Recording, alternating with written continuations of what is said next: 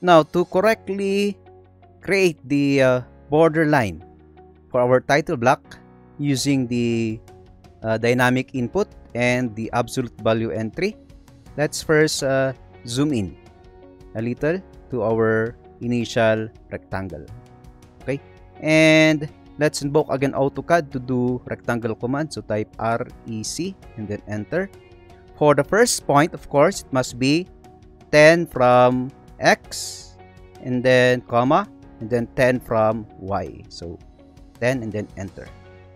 For the second point in order to correctly input absolute value in the dynamic input you must precede the coordinate with the uh, number sign. Example number 410 and then comma 287 okay?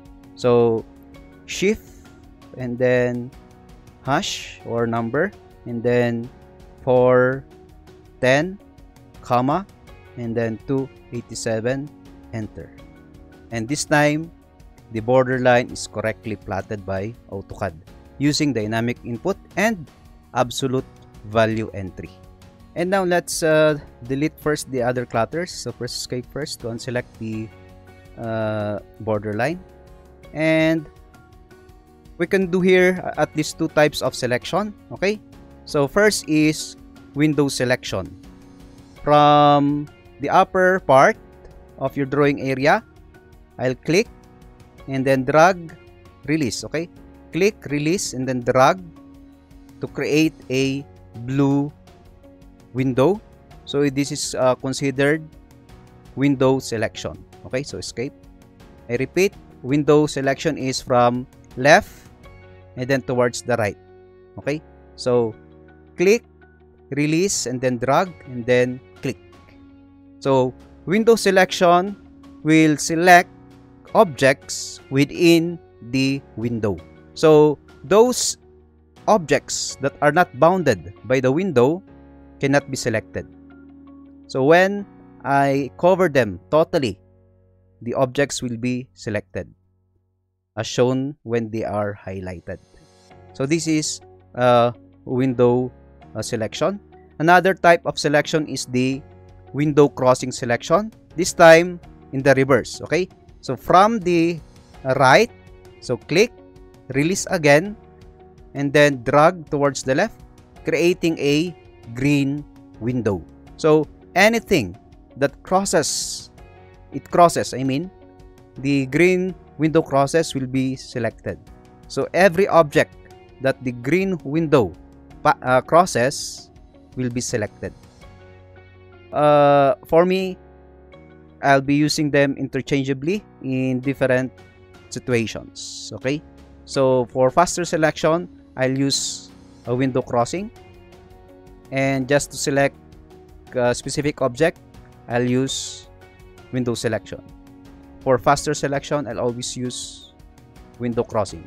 So window crossing, window crossing, it's faster than uh, pinpointing and then clicking the object. So window crossing or just clicking it, it's the same. Uh, much faster for me to window cross selection. Again, window selection from left to right. It needs to cover the object in order for it to be selected. Okay?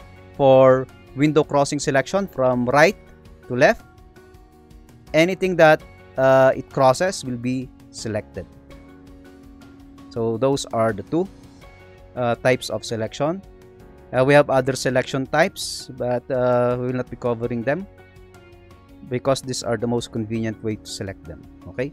So when your other geometries are selected just type E and then enter to erase them. And then of course uh, do a superman command to quickly save your drawings. So, we are now ready to create our title block. And let's uh, zoom in a little so that we could uh, see the extent of our borderline. And let's select the borderline and then right click to open its object properties. So currently it is uh, named as a polyline. And for now, I want you to explode this polyline and uh, break it into four lines. Okay, so type X on your keyboards. So X to explode and then enter. So what happened is that the polyline was broken into one, two, three, four lines. And I'll be using them to create my title block. Now I will zoom in again a little more into the lower right corner. And let's look back at our reference. So the title block is 7 centimeters long and 2 centimeters high. So that's 70 mm and 20 mm. So let's go back to AutoCAD. And let's delineate the length first. So I will be using this. So I'll select this borderline and then type O. So O on my keyboard to offset it to the length of the title block. Okay, so O, enter, and then it asks me to specify the offset distance. So I'll type 70 of course, 70 mm for the offset, and then enter. The object highlights in blue, and then the object will be indicated to where it will be offsetted depending on the location of your cursor in relation to the object. So to the right of the object or to the left. Of course, we need it to the left of the object. And then click. And then select object to offset again.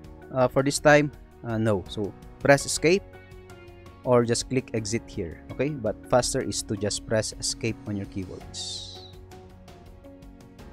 Now for the height of the object, let's reinvoke AutoCAD to do again the uh, offset command. So just press enter or spacebar.